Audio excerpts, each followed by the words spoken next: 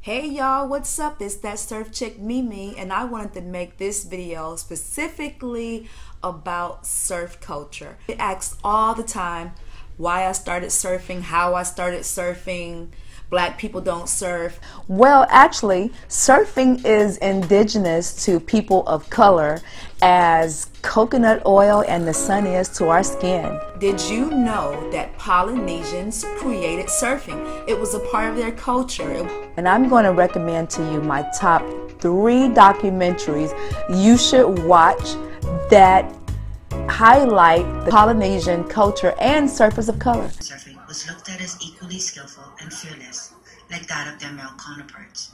Sexual freedom was still embraced, and surfing was a sport and favorite pastime that everyone was able to indulge in together as a community.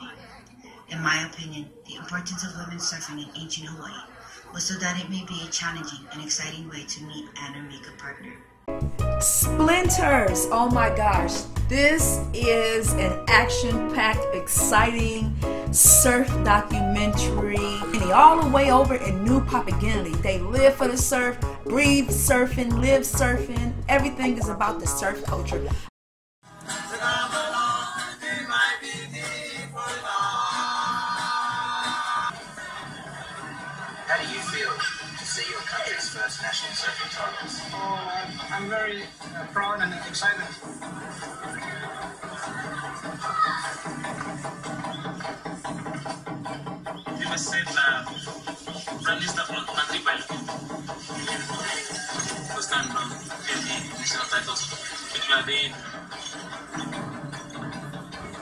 Whitewash. This documentary right here explores the race in America. And the kid looked at me dead in the eye, confused. He was like, Surfer? You guys don't even swim. an English sea captain who described surfing in Ghana. Surfing at Cape Coast Castle. Why did they stop surfing along the coast of West Africa? History is written not by natives, it's written by the white European world at the time. ASP World Tour is like probably very close to 100% white. You see one black guy surfing for every 100 white guys surfing, you know, or more. I was made fun of uh, at school, walking down the street with my surfboard, dudes yelling, black people don't surf, stop trying to act white. The myth that, that it's a white boy sport. That's absolutely absurd. Part two of my personal favorite documentaries Jamnesia, the study or the story of Jamaican surf, the Jamaican story of surf, the Jamaican surf.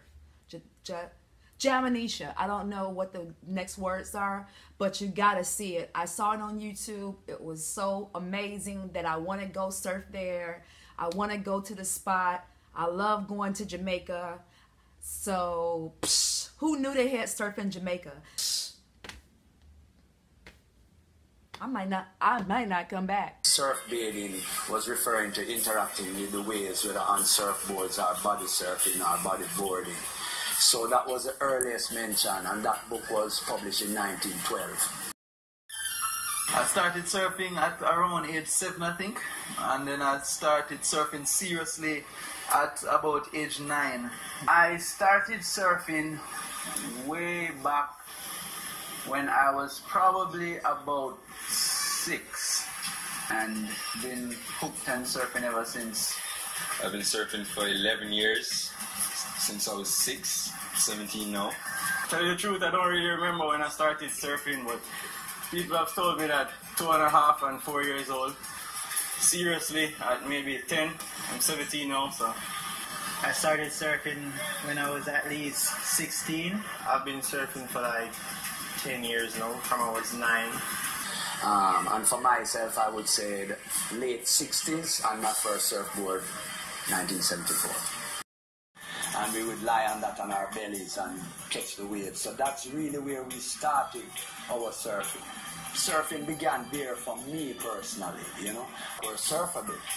And the manner in which the waves broke, they broke on the outside, went over the reef, and then died on the inside. So no matter how rough the sea got, there was inside area for swimming.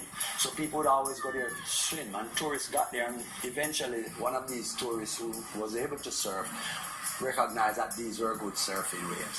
When I saw a deeper shade of blue, I felt connected to everyone in that documentary. It explained the feelings, how I, I connected to everyone. It explained my personal feelings and the whole, you know, essence of surfing. I loved it. Surfing is just really the core of our existence. This made it such a nice challenge to be able to learn about surfing all over again and maybe pay homage to the old Hawaiians.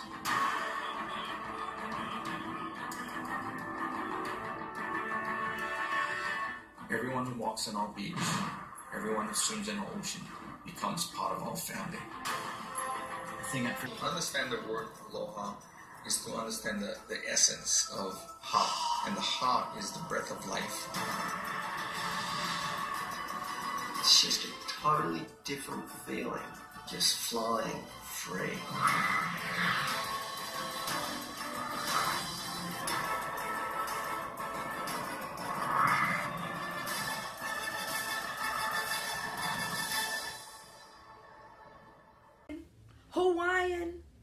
Eddie would go. Eddie Aikau becomes the first lifeguard at Waimea Bay. He attempted over 500 rescues in Waimea Bay, and his record, he lost zero. Anybody that rides Waimea Bay knows you're only taking a chance and just know what you're doing. He wanted people to enjoy and love Hawaii, and that was the unique thing about it. Hawaiians are the ones that are being shoved aside to make room for new hotels going up. Even in the 1960s, as kids, we weren't wanted on Waikiki property. That is what really, really hurts. That sense of being inferior in your own homeland. Native Hawaiian people's own sense of identity was going extinct. There is no countervailing discourse, really, until the building of the Hokulea and the daring act of saying,